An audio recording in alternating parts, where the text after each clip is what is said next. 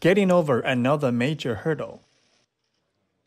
The ascent vehicle of the Chang'e 5, carrying the lunar samples, rendezvoused and docked with the vessel's orbiting modules Sunday morning, Beijing time. It was the first time that China has been able to accomplish this in lunar orbit.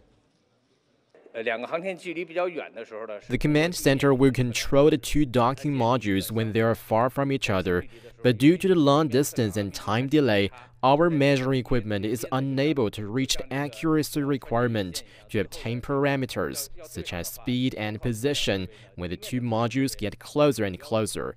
Therefore, the docking phase needs to be conducted autonomously. 30 minutes after the docking, the ascent vehicle transferred the sample container to the return module, which will bring the samples to Earth. The spacecraft will then stay in orbit for a few days, waiting for an optimal window to return to Earth. After reaching the Earth orbit, the return module will bounce off the atmosphere before taking a final plunge.